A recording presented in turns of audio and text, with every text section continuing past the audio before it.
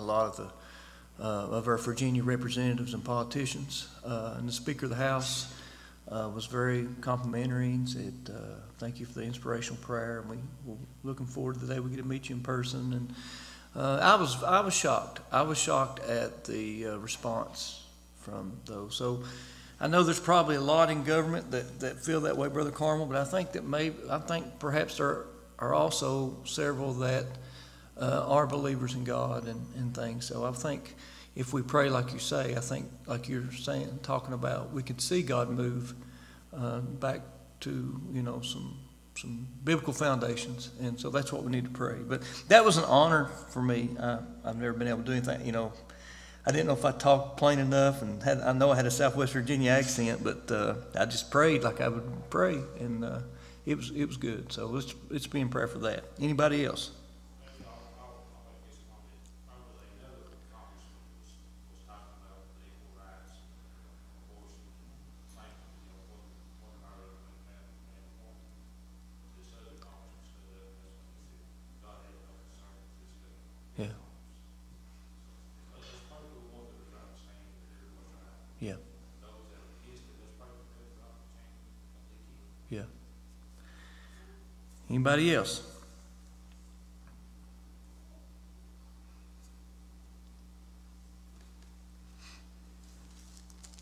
Would somebody like to, uh, well, all those with special and spoken requests, may number raising your right hand.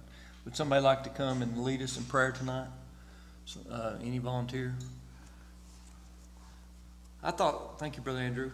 I thought, uh, somebody was coming in from ancient Israel there with their, robe over their head. Brother Rocky come in with his coat over his head.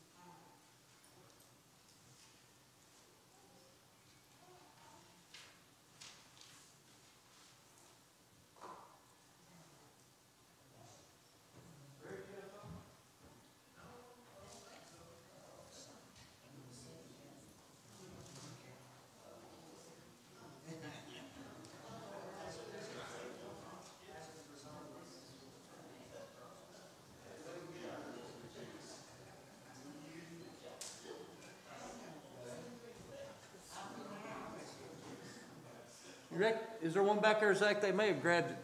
Okay. I thought maybe they may have taken it over there.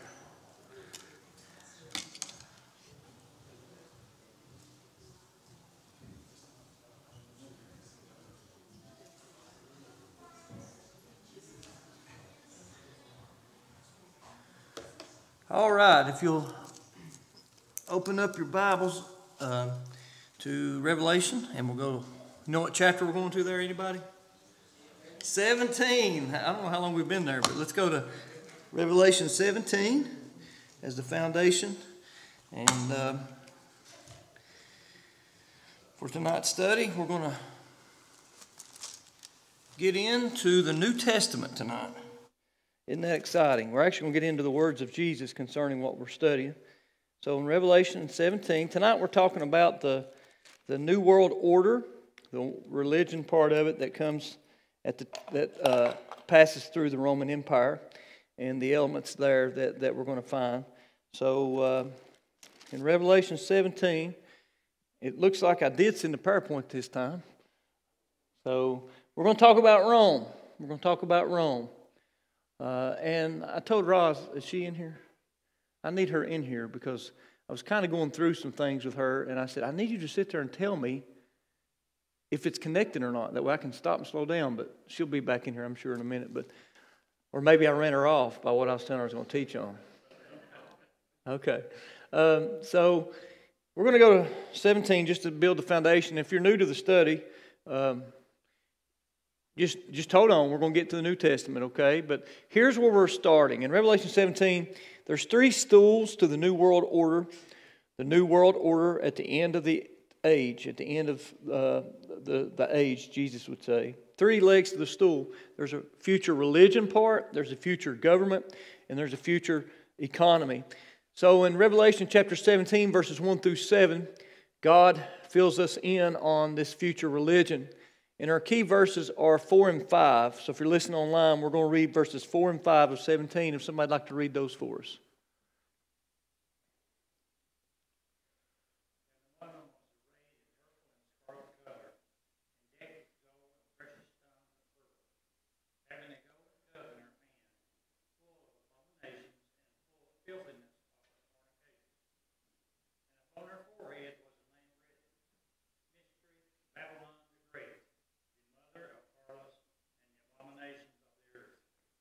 So, this is one of the most descriptive pieces about a religious system that you'll find in the Bible. And I'm just going to pick some things out. If you look at the screen or in your Bible, notice that she is decked out materialism, materialism, money, power, elitism. Notice that she has a cup of abominations in her hand, uh, worldliness, Notice that she has the filthiness of fornication, false doctrine. Okay? Got to look ahead to that. And the woman represents the false religion. That'll be the one world religion at the end of the time that'll use the platform of the church. It'll look like the Christian church in some form or fashion. Tonight, we're going to actually flirt a little bit with one of the major identities, and, and some will get upset if they're listening online, okay? I'm just going to tell you, it's coming. Uh, but I'm going to back it up with the Word of God. Okay, so here's the one world religion that we're going to look at, and I know I've picked out some parts here for you. Notice the initial part. The mother came from where? Babylon. All right. Let's go to 17 verses 7, 10, and 11. Somebody like to read that? That's the one world government. Somebody reads, uh, and, and, and you'll notice that she's riding on this beast. So the false religion is married to the government. It's an imperial religion. It's an imperial religion. That's important to remember. It's a state religion. So somebody read for 7, 10, and 11, please, of 17.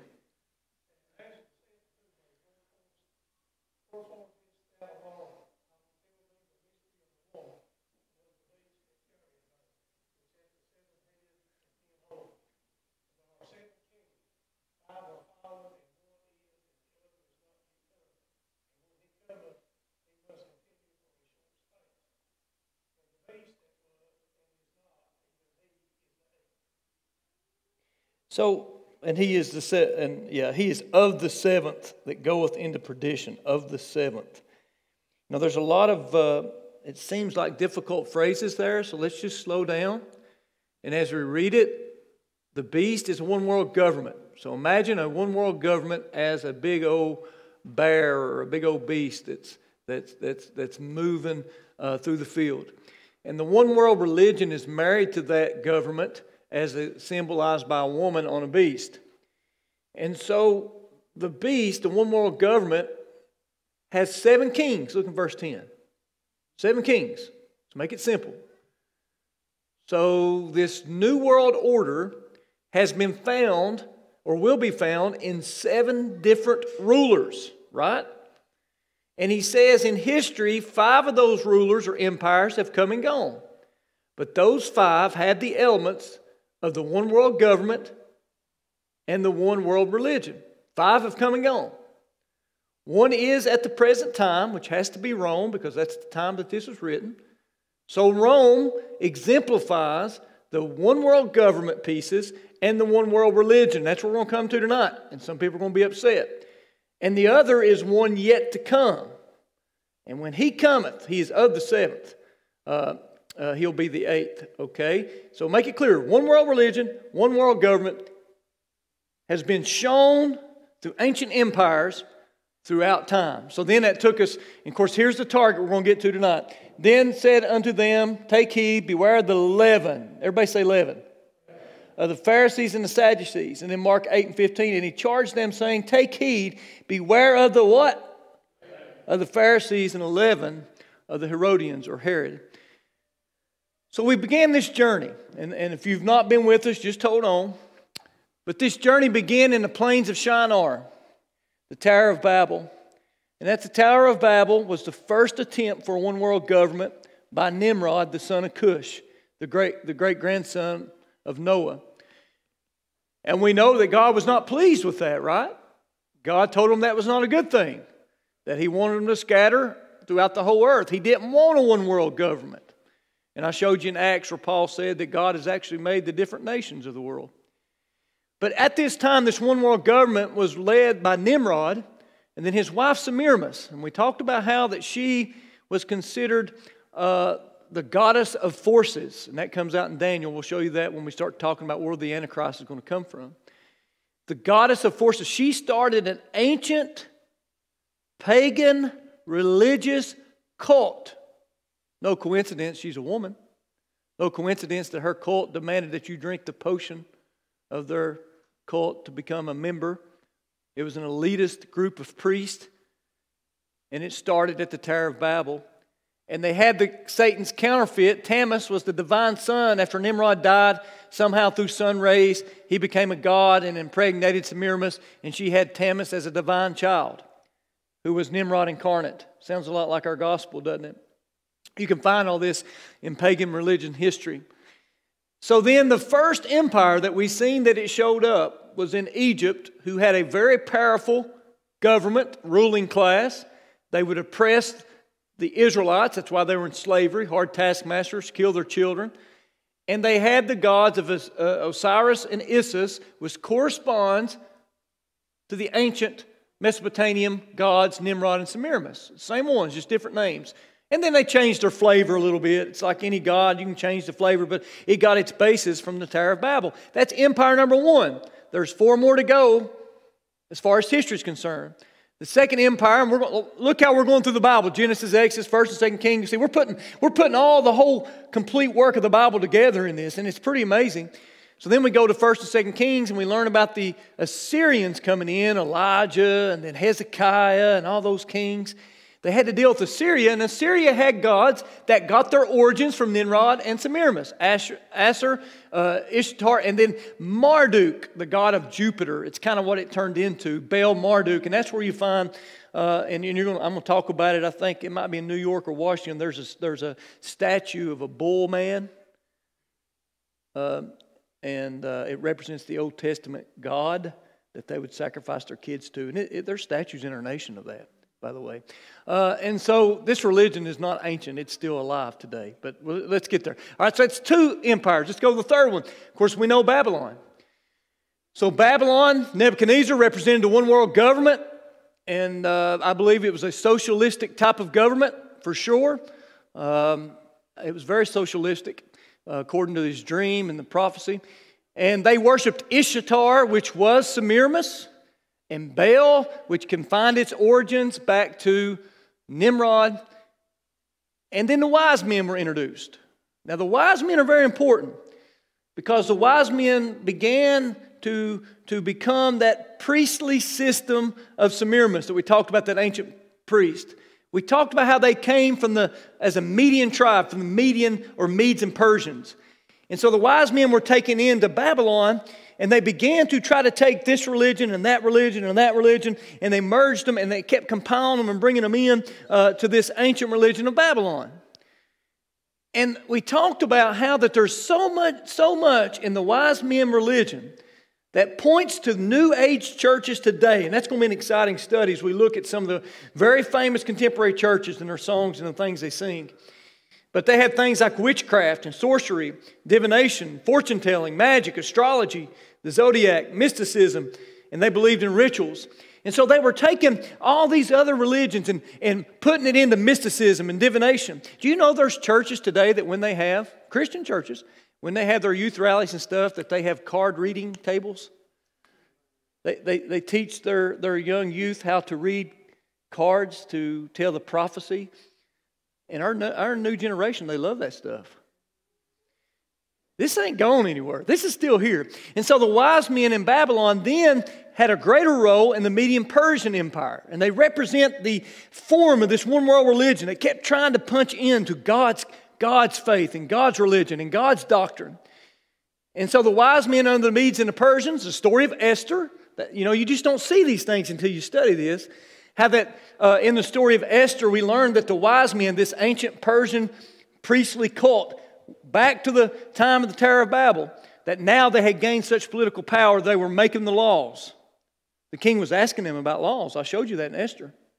They were setting up the judges, they were judging over the laws. You had to be a wise man to be a judge, you had to be a graduate of the wise man school to be a king in the Persian Empire. They now made kings, they now made laws, and they now judge laws, and they controlled the schools.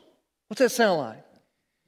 And so the wise men, uh, very influential, okay? Now we go to the next empire, the Grecian Empire, Alexander the Great.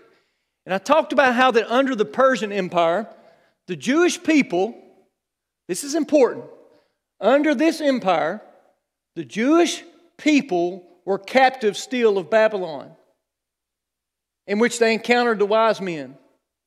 How do we know they encountered the wise men? Because Daniel was made chief of the wise men, so they would learn the teachings of Daniel. That's how the wise men knew Jesus was going to be born in Bethlehem, if you didn't know that.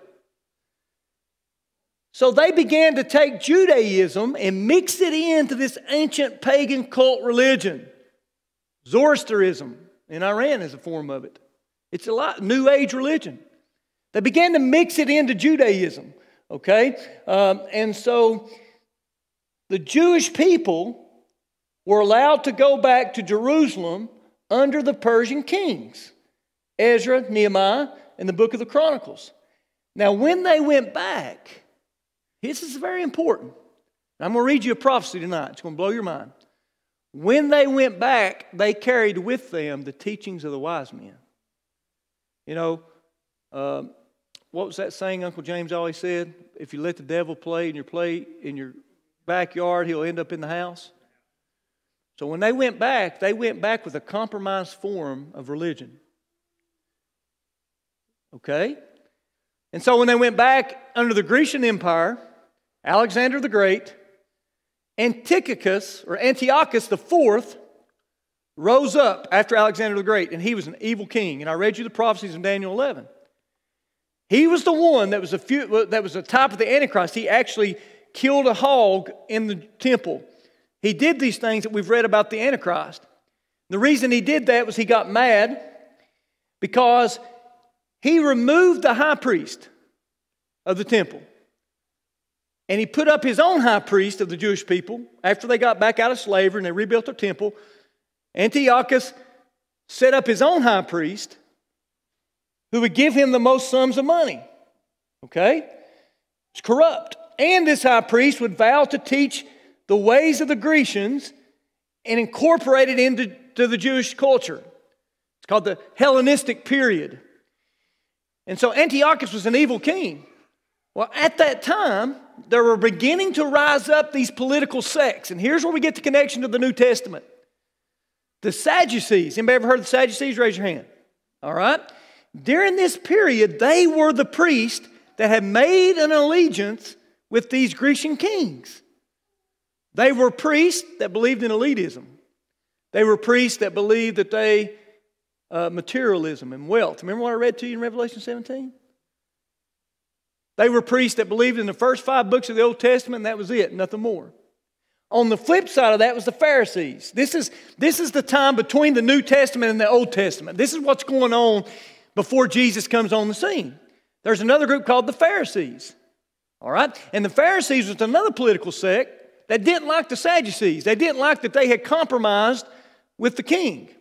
And so the Pharisees believed in the first five books of the New Testament. They believed in everything that was written in that called the Torah, the law. But then they added a bunch of oral laws. I mean, they, they were just laws for everything. For example, you couldn't look in a mirror on the Sabbath because you'd be tempted to pluck a hair out, and that was called work. So when you see Jesus talking about all these things in the New Testament about these laws of the Sabbath, it came from these over anxious Pharisees who didn't like the Sadducees.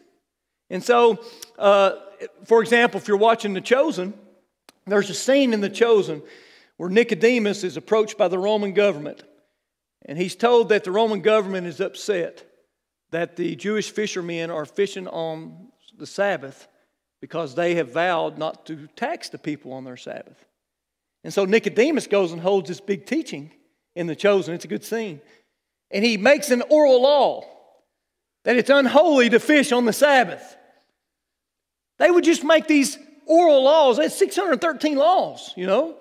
And so the Pharisees were this external good works, ritual, religion. The Sadducees were these imperialistic priests who had married the government. And so, what you see forming now is what Jesus would stand against.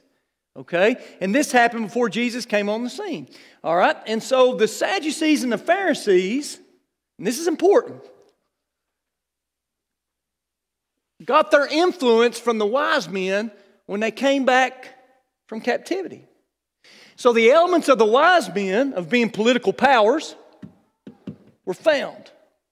The elements of the wise men of all that mysticism and all that was found with these men. And so what had happened is this ancient cult religion had now began to get its feet in the door among God's people.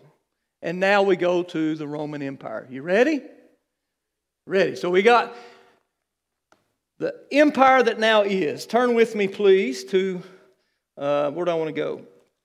Let's go. Uh, we've already talked about that. Let's go to, I've already talked about that, okay?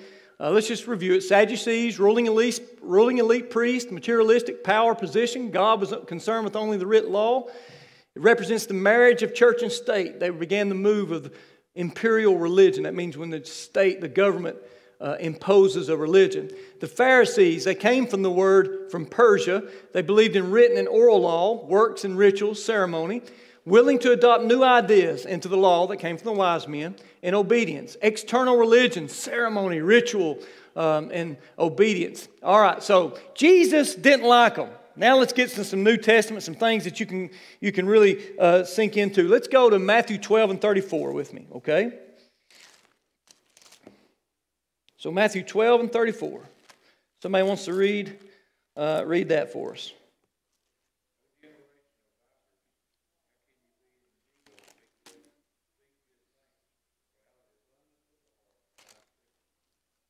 So now we're going to find this religion showing up, this ancient religion showing up in Jesus' time in the Roman Empire. It's what we're talking about. This is the next empire.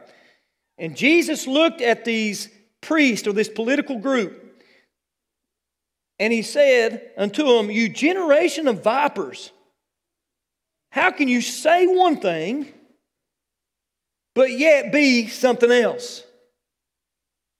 He was talking about how that they were snakes just any old way. All right? And so he's talking about their hypocrisy. Hypocrisy among the priests. Huh. All right?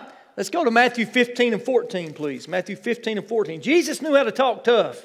I mean, this is, this is trash talk Bible 101. I mean, he knew how to let them know what he wanted to let them know. All right, Matthew 15 and 14. Somebody want to read that?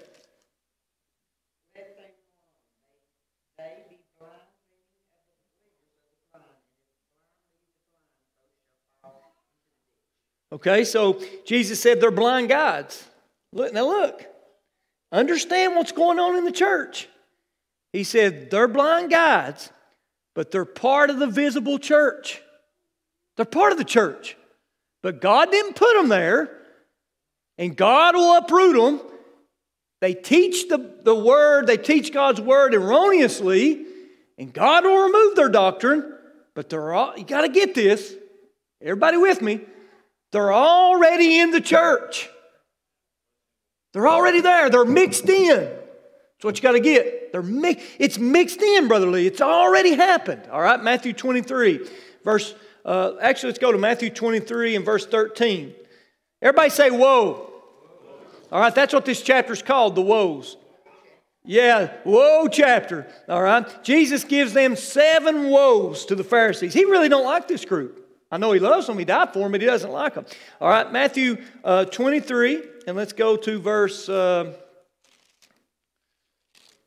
13. Somebody read verse 13 for me.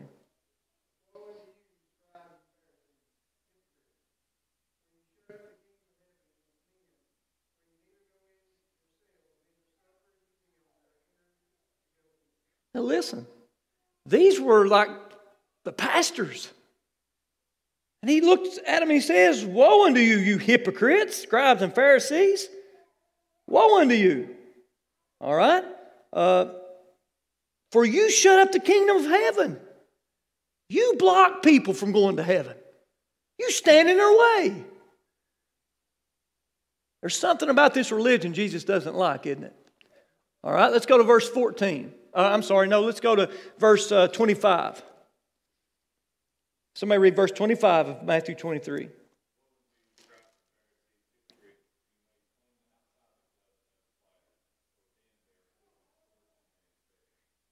He's saying your emphasis is on external things and ritualism, you know, being part of the choir, I, I don't know, you know, uh, uh, having this great breakout contemporary church service.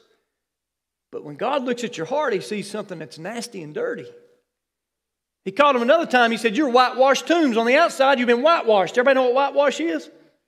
He said, But on the inside, you're full of dead bones. There's no life inside. You've not been born again.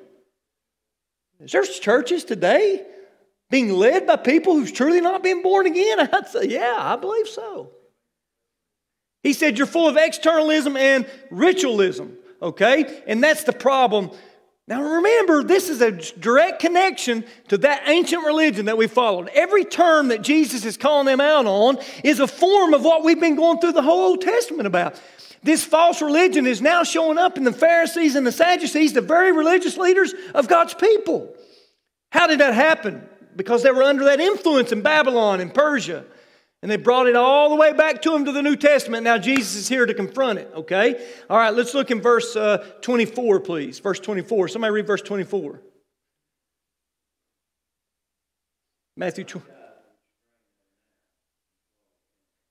Has anybody ever got a gnat in their, in their mouth? Yeah, or in your eye? That's awful. He says you strain at a gnat, but you swallow a camel. What's he talking about? Their legalistic attitude. J. Vernon McGee tells a story about a woman, the lipstick woman, he says. He said this woman was adamant about not for women not to dress up and wear lipstick. But she was known as the town gossip. He said maybe she should have put, put a little bit more lipstick on her lips so the gossip wouldn't be on her tongue a very legalistic type of a very legalistic type of church, a very ritualistic type of church, a very ceremonial type of church, a very priest elitist type of church. We're going somewhere. How about verse 27? Have we read that one yet? Somebody read that.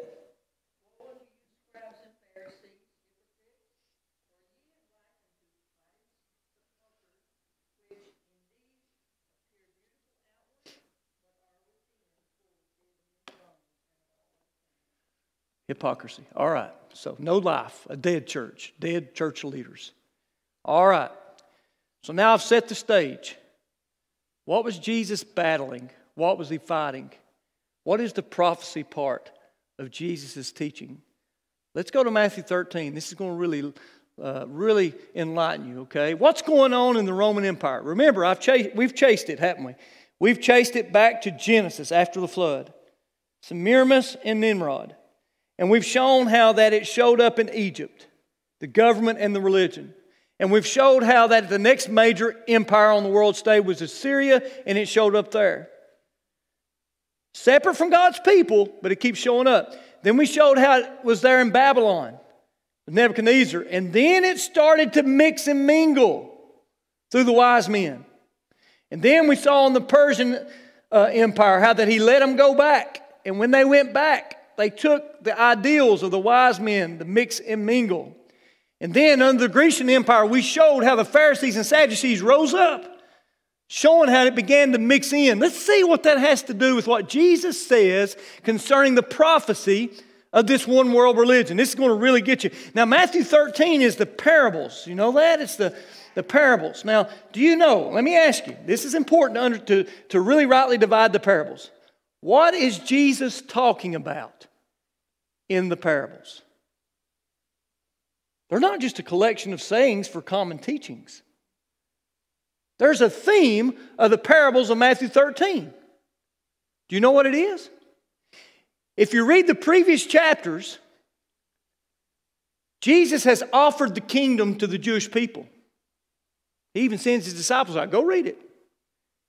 And they reject the king. So now Jesus is showing what's going to happen. Since they've rejected him, He's going to go to the Gentiles. He's showing what's going to happen from the moment he ascends to the moment he comes back.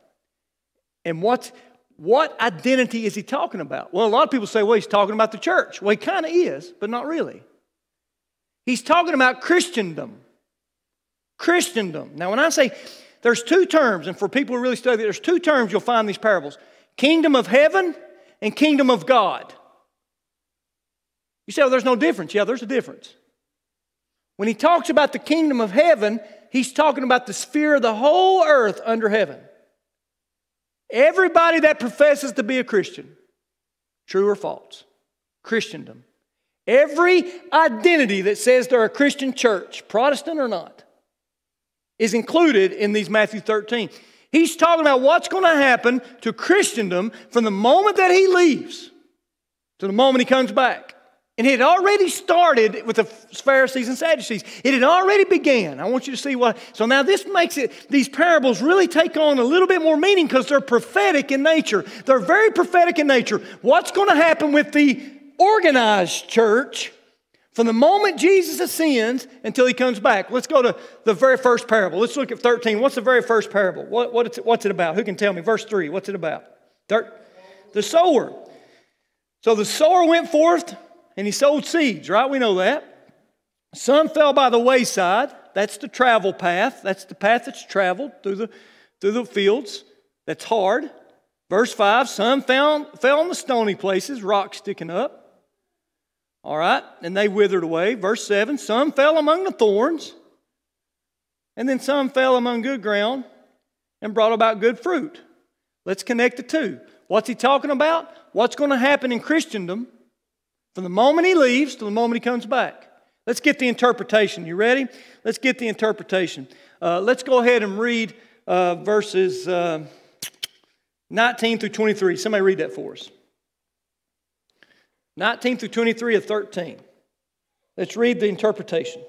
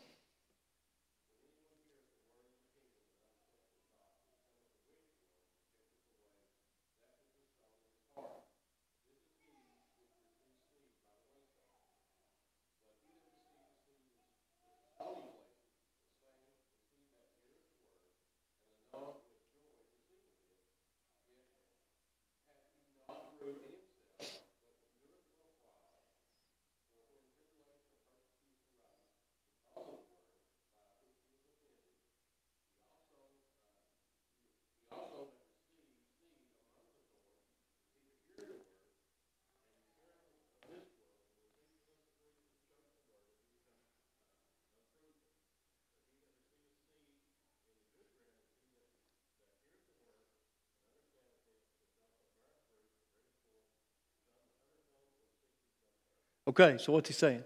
The time that Jesus ascends, the time he comes back, the sower is Jesus or even the preacher. They're going to sow the seed, which is the gospel, among Christendom. And sitting in the pews are going to be those who profess Christ, but truly have a hard heart, and they never surrender to the gospel. They're false professors, they're not true Christians. And then there's others that, that the, the seed fell among their stony heart. All right? And, and, and, and then there's others that it fell among the thorns, which is the cares of the world, and it never really took. Three out of four cases in the organized church, the gospel does not take root. But one in four, they believe.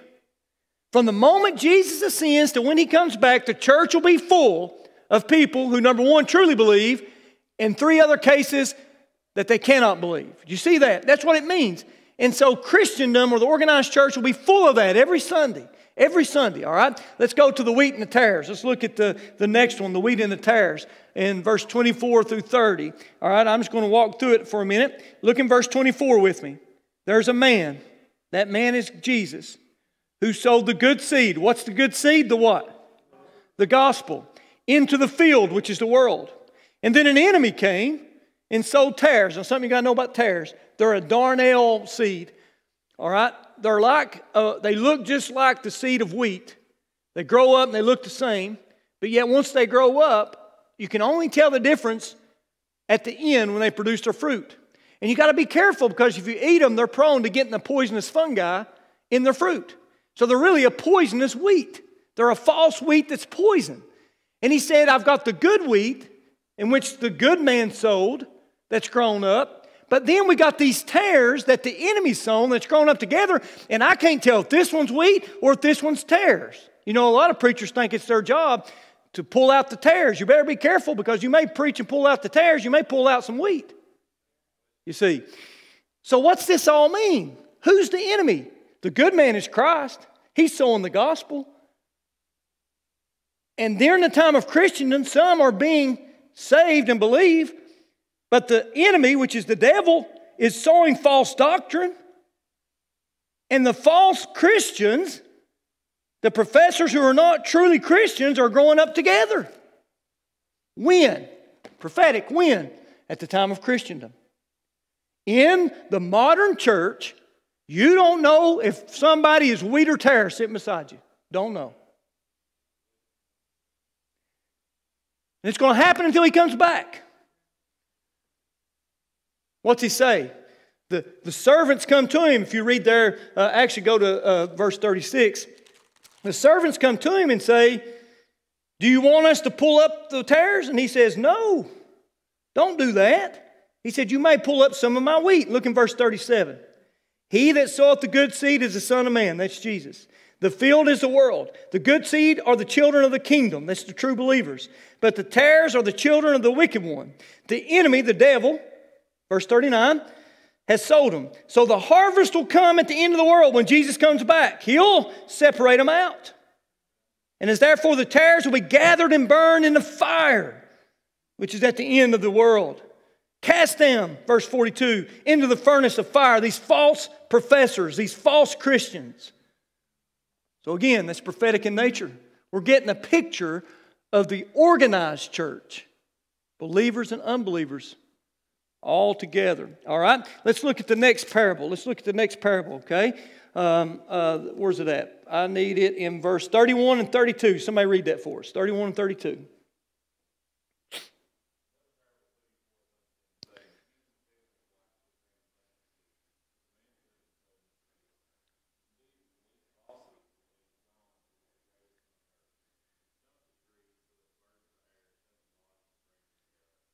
So, this study has changed my theology on the parables. I have preached that, I believe, as the gospel and good and growing. But if you keep it in context, what is he saying here?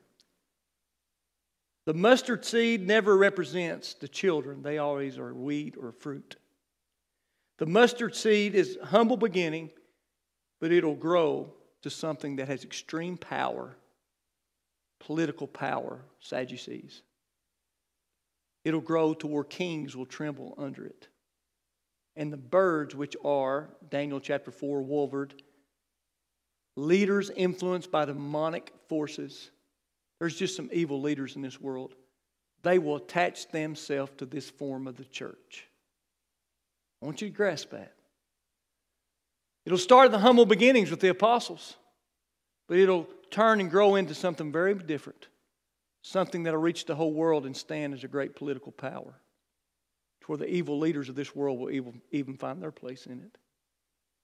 What are we looking at? We're looking at something that there's true and non believers. They're going to grow up together. We're looking at something that turns into something that was never intended to be a mighty political force and power. Jesus said that's what's going to happen between the time period that I leave and I come back. This ancient one world religion, this new world order, will come and dominate the people of God. That's what, that's what these parables are all about. Now let's get, J. Vernon McGee says that chapter 13 is the most important, uh, Matthew is the most important book of the Bible. And then he says chapter 13 is the most important chapter of Matthew. Then he says verse 33 is the most important verse of chapter 13. So he says, probably reading the most important verse. Did you know that? J. Vernon McGee thinks what we're getting ready to read is the most important verse in all the Bible. Somebody read for us this next parable, chapter 33, for us, please. Uh, verse 33, chapter 13.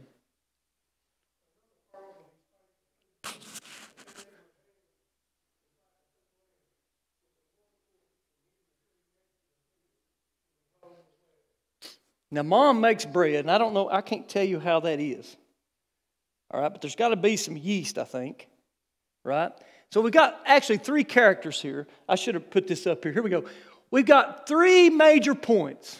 We got leaven. Wonder what that is. I, everything connects here. I need your attention. Everything connects right here. It happens here. We've got a woman. Well, we know, we've seen what a woman represents. And we got meal. Meal comes from wheat. The gospel, the seed, the true produce, the wheat. Guess what that represents? The good, the true believers, the true church. Remember, the organized, in the organized church is false and true believers, and Jesus said, let it continue to the end of the age. Didn't he say that? I read that to you. In Christendom, you're going to have true believers and false believers, and Jesus said, don't try to pluck them out. Because when it comes time for judgment, I'll look into their heart and I'll determine whether they have truly professed me as their Savior or not. But in the name of the church, there's going to be many, like the Pharisees and the Sadducees priest, who believes in imperialistic state religion, externalism, ritual, hypocrisy. And they're going to be there. And Jesus said, let them grow together, let them grow together. But something is important here that's going to happen.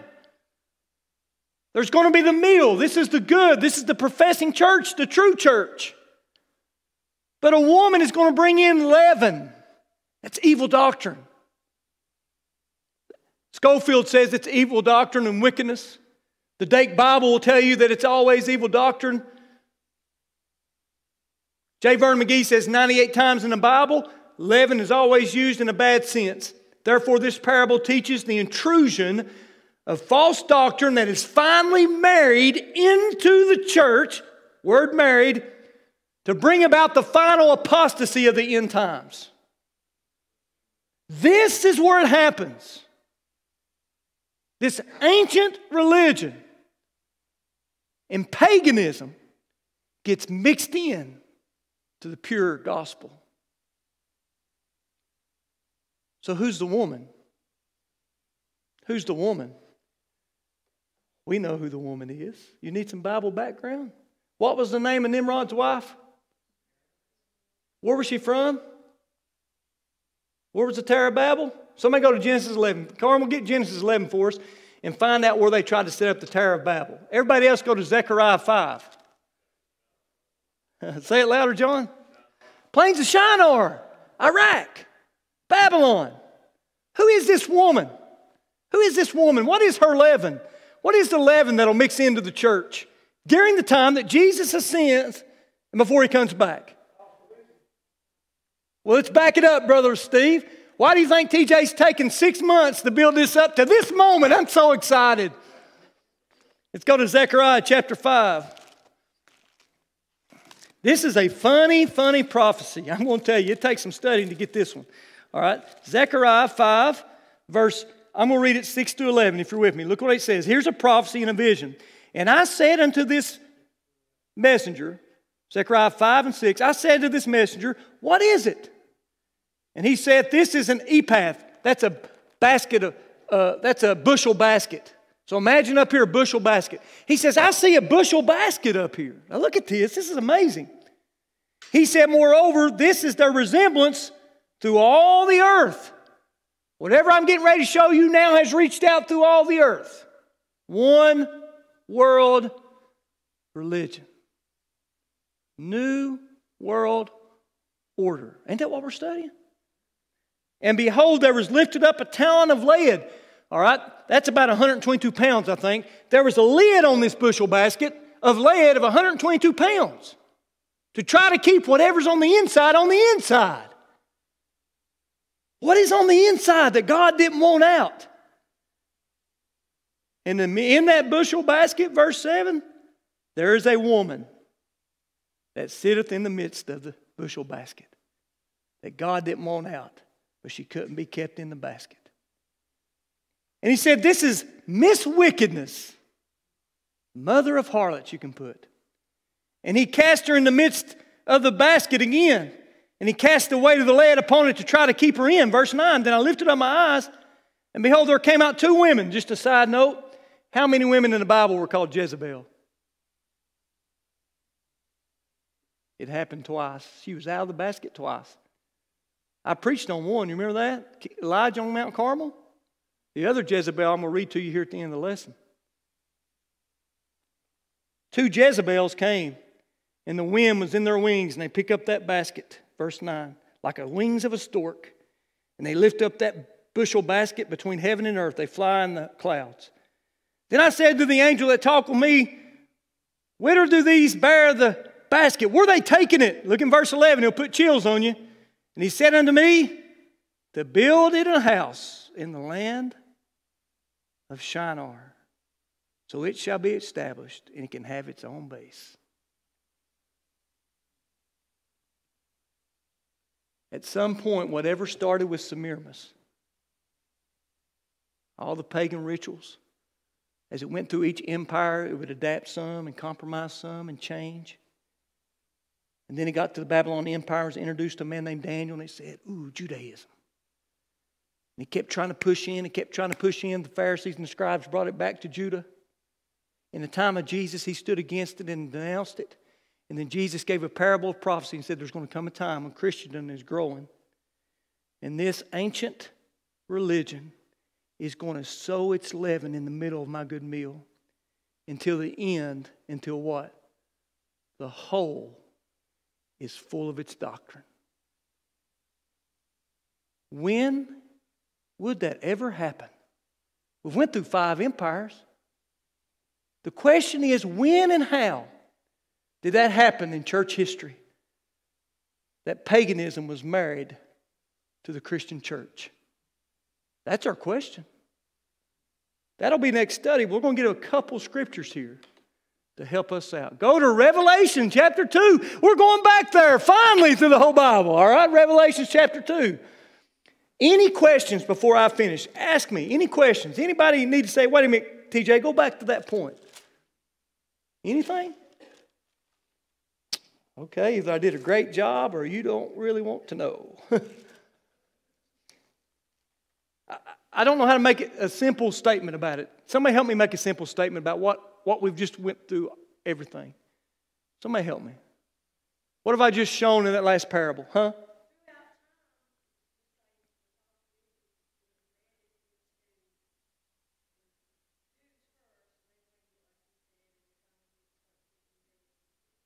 That's awesome. That's a good statement, Diane. That's a lot more simple than I can make it. That's great. And so at some point, it's actually going to marry itself into the church, the professed church. And how's it going to do that?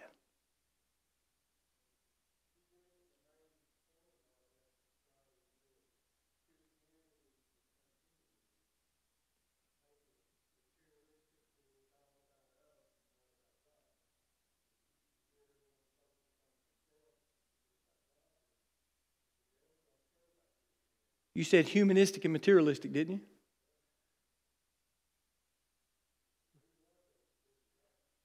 Let's go back. Remember the target?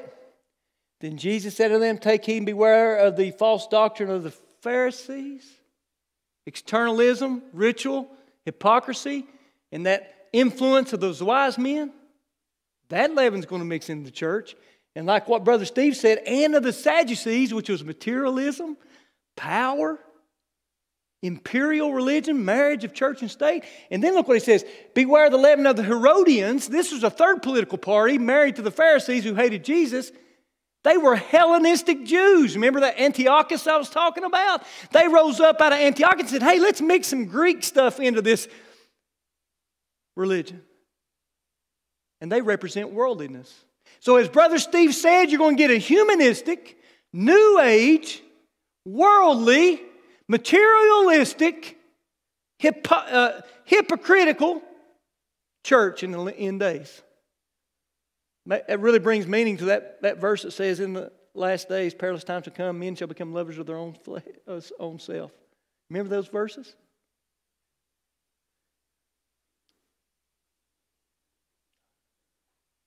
I'm going to quote you from a Scofield not to get in trouble. Go back to Revelation chapter 2. When did this happen? I don't know. Maybe it hasn't happened. We can use history to say if it did happen, it's going to probably look like this, whatever this happened. So I'm not telling you this is when it happened. I'm telling you when it does happen, it's going to be like this example, and I'm going to get in detail next time.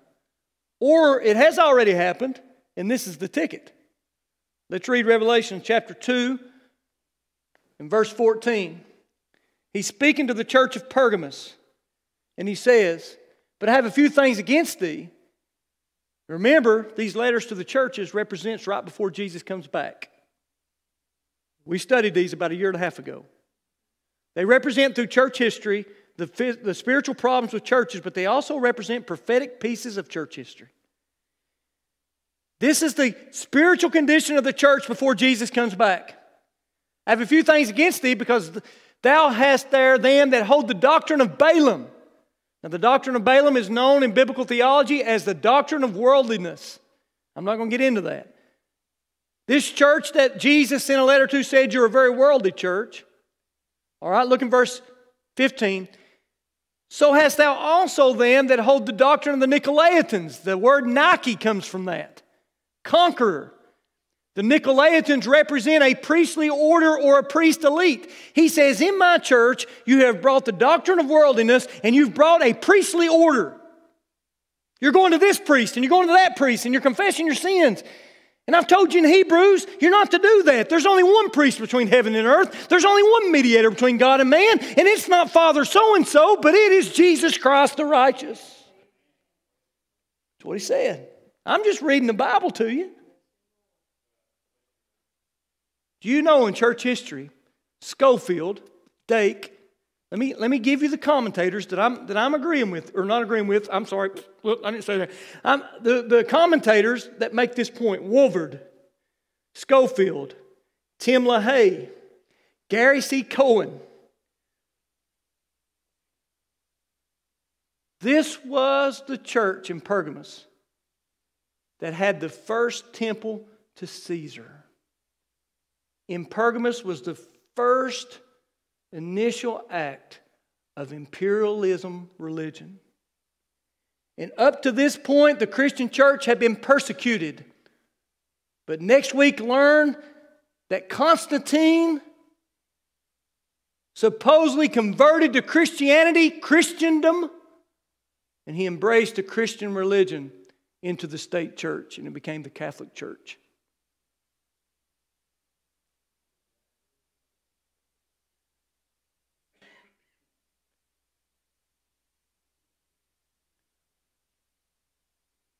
Let's continue to read. Revelations 2 and 20. Let's read that one. This is the next church, okay? Uh, and it says, the next letter, the next church, notwithstanding, I have a few things against thee because thou hast suffered that woman Jezebel. There's the second Jezebel woman. What did she do? She called herself a prophetess to teach and to seduce my servants to commit fornication and to eat things sacrificed to idols. It's already took root. The leaven is already growing in the midst of the church. Scofield, quote, I'm quoting Scofield, been here a lot longer than me. Read that. Read that on the screen.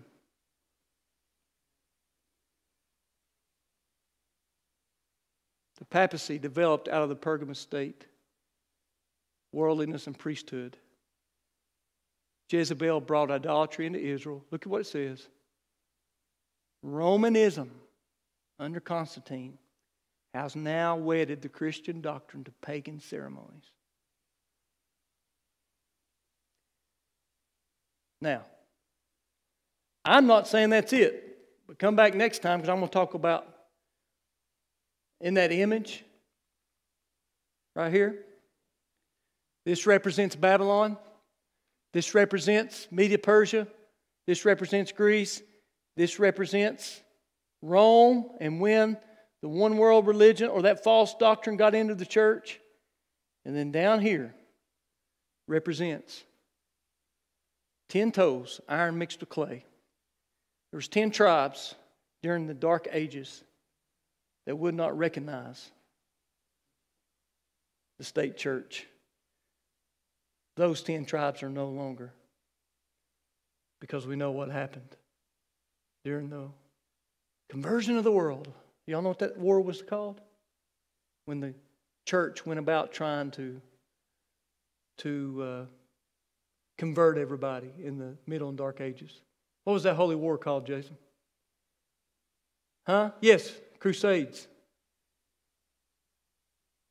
So, what I'm teaching to you tonight is whether this is it or it looks very much like this when it happens. God has given us an example to look at at when the one world religion takes over. It'll come through the church somehow, some way. Maybe it is just a new age. Maybe it is a compilation of all, but it's going to have the very same elements and doctrine that we've read throughout the Bible. Now, you say, well, Pastor, I'm going to disagree with you. Well, you better open up your Bible and show me. Because I've spent six months showing you and building it up to get where we're at. All right, we love you. Come back next week and uh, we'll get a little, uh, we're going to get into modern times. We're going to get into modern presidents. We're going to get into modern nations around the world. We're going to get into the relationship with the Crusades and the Dark Ages and the Middle Ages. Uh, we got a lot of things to talk about. Maybe I get Jason. Maybe get Jason. He knows more about that stuff than I do. He's a history teacher, but uh, I'm just trying to trying to learn history. Huh? Okay.